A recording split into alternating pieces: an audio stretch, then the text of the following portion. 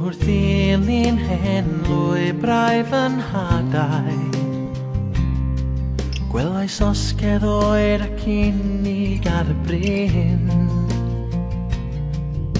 Eisteddais lawr, dwedodd o ei hanes Wrth i'r gwynt cyrasu'r nos a'i atgof llym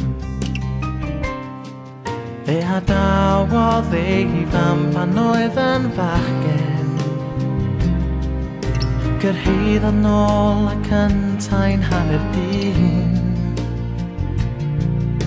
pedalodd yr hyd fawr pris ein rhyddi Mewn gwaed a dagrau ar yr eil a gwyn Ac yna cordodd i lais at y cenedlaethau Tyros ei brodyr rif y glith dan y crwysau gwyn Tw'r erlyd ar ffynodd ei wedi'n gwlad Wrth gyd sefyll gyda balder yn gytun Dywedodd Geralt caws yn wlad i'w chadw Sgrifennodd Elis am yr arwr ar gyrch Hen eiriau'n at seinio trwy'r distawydd Cyn iddynt fynd ar goll yn hwrw'r drill Wrth i machlid losgi llun a draws y gorwel Yn ddistaw bach fe blygodd o'i ben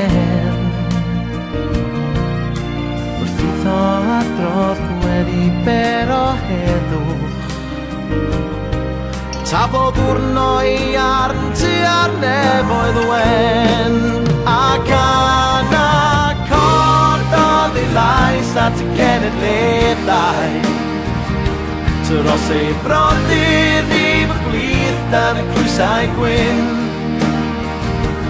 Trwy'r erlu dan Sahar e mewn ffynodd ei wedi'r gwlad Wrth gyd sefyll gyd gyda balder yn sy'n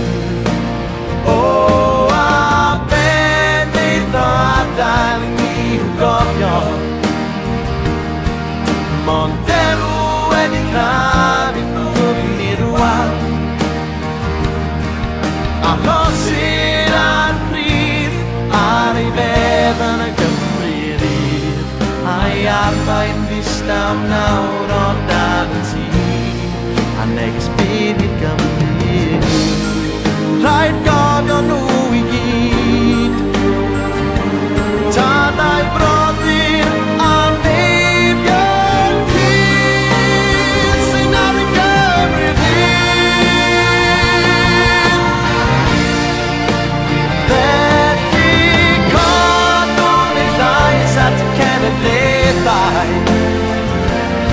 sy'n brodyr i'n gwyth dan y clwysau gwyns Trwy'r erlun dar sahar Fe am ddiffynodd ei wedi gwlad ac megau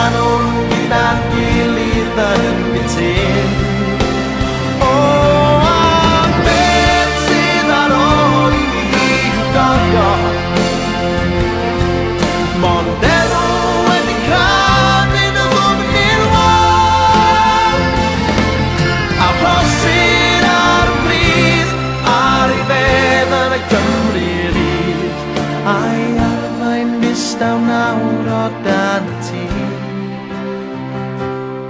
yn neges fydd i'r Gymru Rhydd